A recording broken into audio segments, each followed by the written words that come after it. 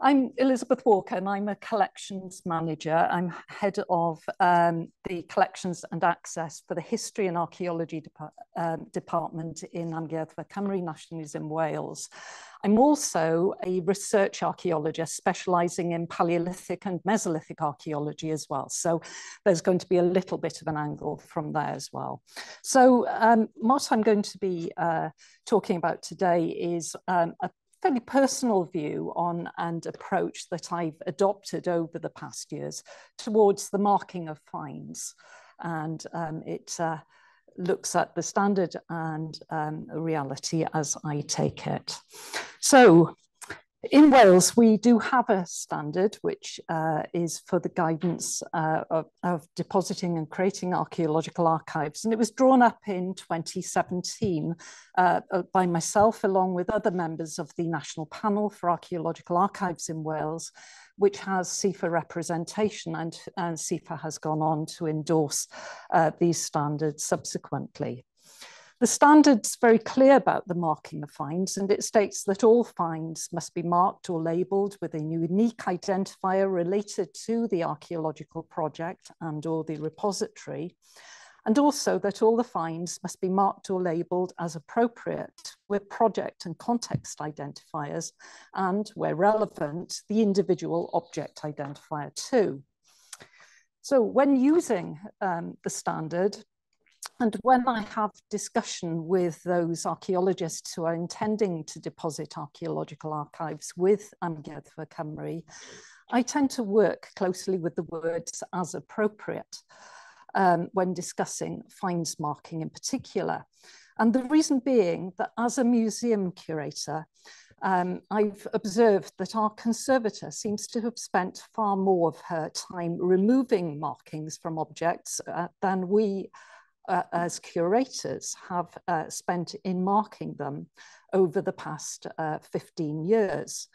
And as curators, I'm often very, very frustrated by the fact that objects are marked really inappropriately as well. So the approach that I've adopted for Amgueddfa Cymru is to rarely mark anything at all. Um, we certainly only mark in exceptional uh, circumstances. I'm not advocating never marking, just uh, when needed. And I think it's really pertinent here to note that Amgueddfa Cymru also doesn't issue any accession numbers until we've actually got the fines. So we're never going to be um, asking for fines to mark. That's a, a quirk of um, the Welsh audit uh, system. Um, so um, I'll admit, though, that we very rarely even mark an accession number on fines. Um, and I think it's it's for this reason that um, people like Duncan, Claire, and Sam have um, heard me go on a little bit like a stuck record on this topic in some of the archaeological archives uh, forum meetings that I've been asked to uh, present my case uh, to you today.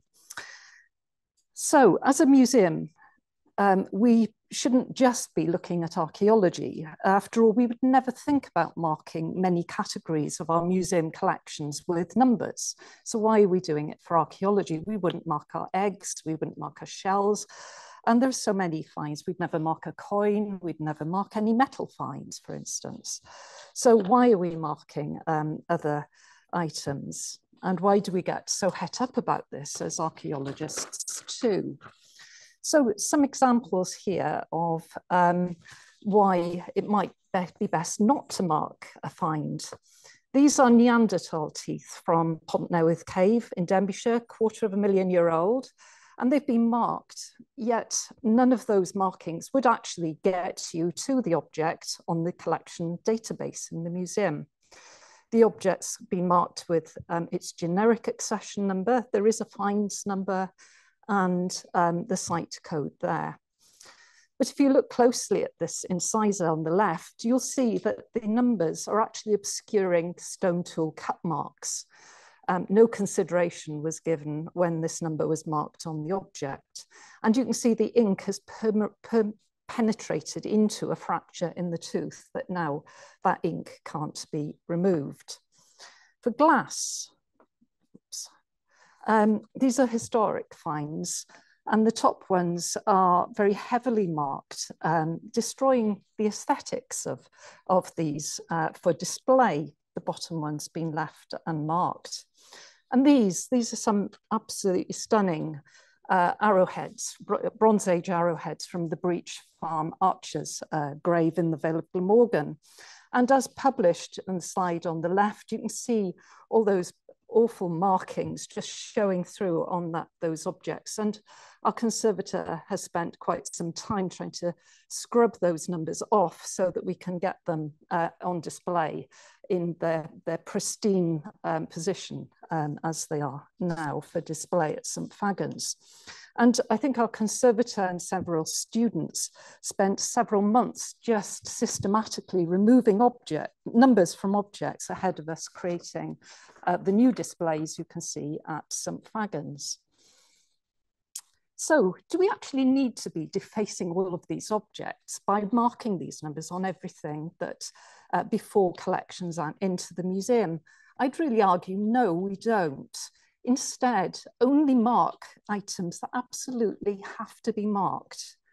Post-excavation teams should be discussing the approach that the specialists are going to take when writing their reports to determine what risks are involved for the loss of information this might end up with the decision that you do need to mark something on it. But more often than not, I think there are other simple ways that we can manage um, these fines, which not only save time, save money, uh, better for the objects ultimately. And this can involve clearly um, marking the packaging, and this is absolutely fundamental.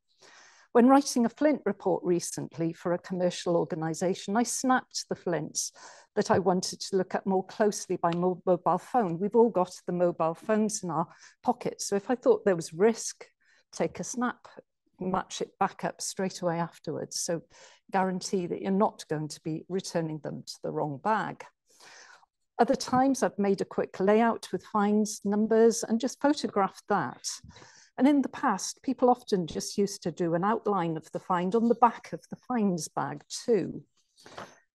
I'd advocate against um, marking human remains too. Exceptionally and occasionally, we will need to mark things, especially perhaps potsherds if the vessels from different contexts might be being um, reconstructed. Or, for instance, if I'm doing refitting for a large lithic assemblage, I would mark uh, the lithics then.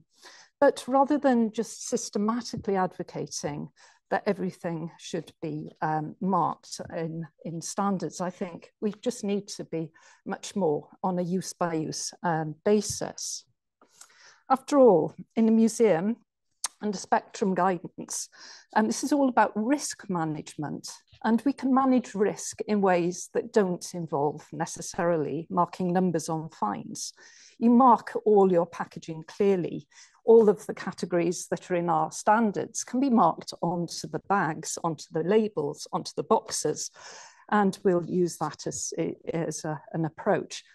And we give visitors really detailed instructions on handling um, to make sure that they um, don't uh, put those collections at risk too. Um, a museum, we um, have detailed records of all of the finds in, in methods like this, all um, managing uh, that uh, in process. So archaeological um, collections are, after all, being kept to be used so I think it's important for us to consider our current and also our future uses. I briefly mentioned aesthetics, but even more importantly, science. Science is key, especially for the Paleolithic and Mesolithic periods that I'm studying. Um, radiocarbon dating can be completely messed up if unknown lacquers are used. Use wear and residues can be destroyed, obscured, by marking finds, denying opportunities for future science and future study and analysis. And so it seems obvious to me that the less we do um, to our finds, the more information we'll be actually be able to extract from them now and in the future. And of course, this doesn't um, prevent finds from being marked in the future if this should be required. So my case is that our standards should be fluid and adapted um, starting with a minimal approach and then um, numbers marked if in the future. And even as a Paleolithic archaeologist, I'd even consider advocating against even washing some finds now. Uh, nowadays, that ancient DNA is being recovered from soils and even from a 30,000 year old pendant.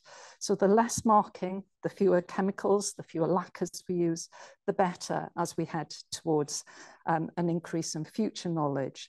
And this is perhaps my vision for how we as archaeologists um, might be conducting our excavations in the future. I'll leave it there. Thank you.